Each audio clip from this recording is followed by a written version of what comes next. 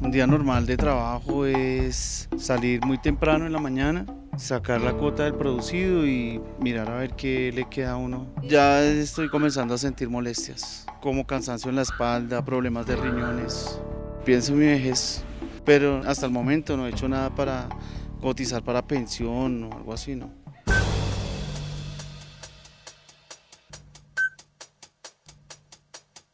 ¿Sabe qué está haciendo el gobierno para lograr que todos los trabajadores estén protegidos? Formalización a la medida. www.mintrabajo.gov.co